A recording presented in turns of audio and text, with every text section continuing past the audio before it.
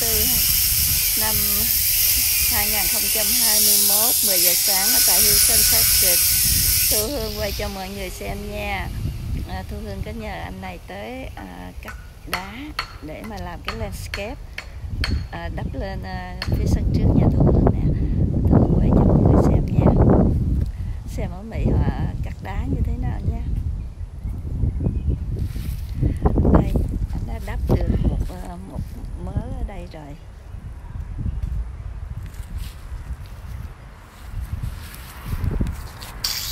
bây giờ xem cái cảnh cắt đá nha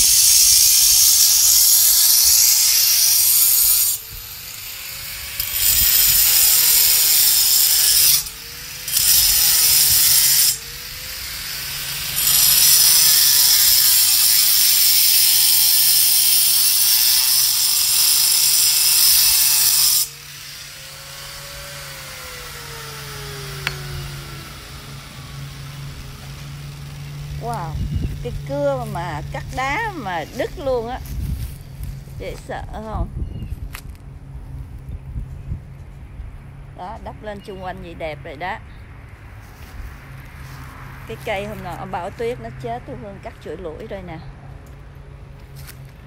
Đóng đá đó là à, bốn trăm rưỡi Tiền họ chở chơi là một trăm hai. trăm rưỡi với trăm hai là năm trăm bảy cái đóng đá đó đó. Tôi hương sẽ đắp hết nguyên cái sân trước của tôi hương nè. Để tôi hương quay cho mọi người xem. Bụi quá. Đó là cái ờ, cái sân trước đó. Đây là hàng xóm của tôi hương nha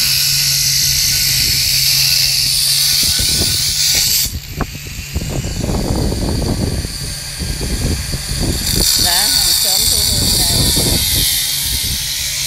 buồn không em nghĩ buồn như chưa cả nhà cái nhà này làm cái landscape đẹp nè.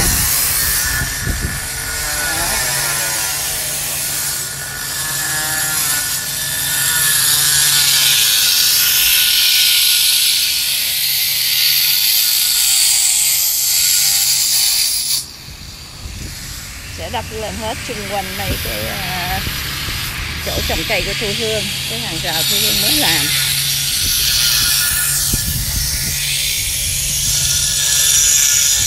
Bây giờ Thu Hương vô vân ờ, sân sau nha.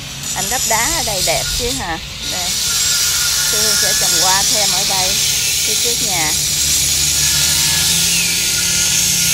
Cái cây hoa này đẹp nè.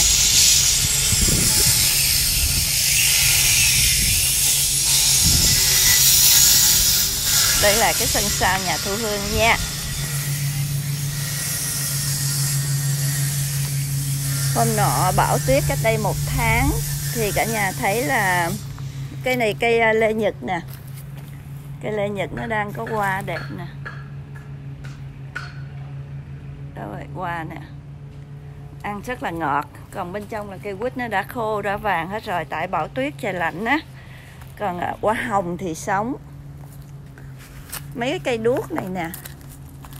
Ban đêm á à, này là nó xài điện à, bằng ánh nắng mặt trời á ban đêm á nó đỏ rực lên đẹp lắm cả nhà. Với lại à, tôi hương có treo đèn điện. Với lại những cái cây cột này là chú hương treo mấy cái lồng đèn. Nhưng mà trời mưa nên đem vô để, trời nắng sẽ đem ra. À, hoa hồng thì sống không bao giờ chết. Có lạnh đi nữa nó cũng không chết. Lúc uh, mùa xuân tu hương đang chuẩn bị mua tu hương đang uh, mua hoa để trồng đây cái này là cây uh, đang ương uh, dưa leo đậu bắp. Chỉ là bí. Dạ. Ok để hương lấy cho.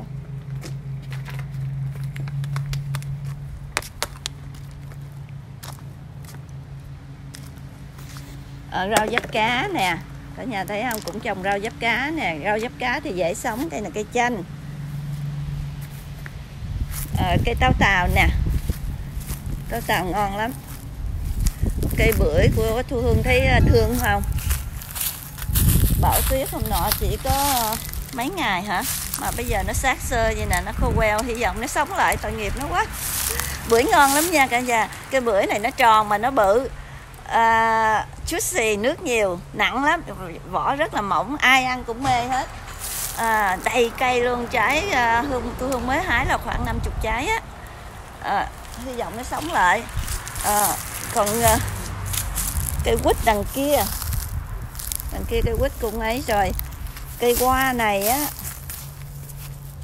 hôm nọ nó nở đầy cây không có lá rất là đẹp. Ờ, à, tôi hương cho xem cây ổi nha. Cây ổi thấy thương luôn.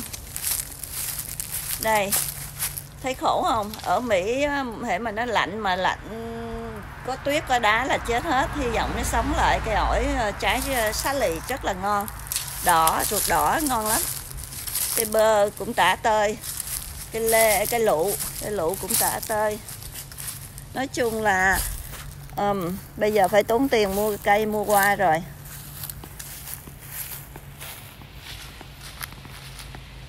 Khổ chưa? Thấy ở Việt Nam sướng chưa? Khí hậu mát mẻ nóng quanh năm. Cây tươi tốt chứ không phải như ở Mỹ, nó lạnh lên một cái là chết hết.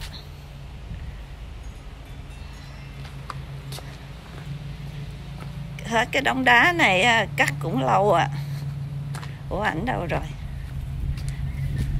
Ảnh đâu rồi? Chắc anh nghỉ ngơi rồi. Ok ok.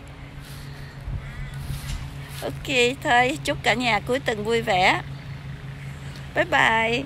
À, nhớ like and subscribe cho thu hương nha. Thu hương sẽ quay cái đời sống ở mỹ uh, ở Houston Texas cho mọi người xem. Bye bye. Dạ ok lấy nước cho anh